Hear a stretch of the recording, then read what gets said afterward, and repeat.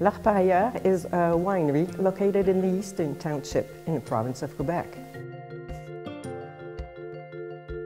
The winery uh, started here in 1982. It was a dream of two wine, European winemakers.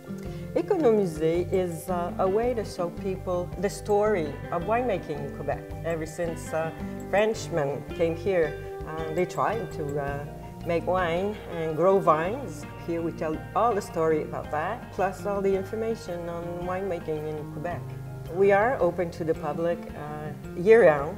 We, uh, we have guided tours. We take them to the field and explain how we uh, take care of the plants. And we have wine tasting. Very nice. Excellent. Très bon, vraiment bon. Welcome to the Côte d'Ardoise. We are in the city of Dunham. This vineyard is the oldest in Quebec. Here in this area you can find maybe around uh, 20 or 25 vineyards. La Route des Vins, what does that mean? It's like the road for the wine. And uh, you can see and can, uh, if you go just around this place, uh, close to Dunham, you can find many, many vineyards. And uh, it's like around 30 kilometers around this place.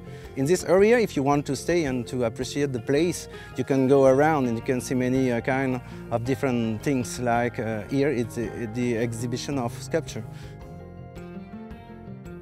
Here in this vineyard in Côte d'Ardoise, we have 12 kinds of vines. And uh, for the red wine, the white wine, and for the rosé and for the ice wine too. Because here in this vineyard, we have three kinds of uh, ice wine. This is a very good wine. It's not too strong, not too sweet. It is kind of wine that I could enjoy every day. Un air de vieille romance. You come here and you have the impression of being in, in a really a, a rich milieu. It would be uh, loved by anyone.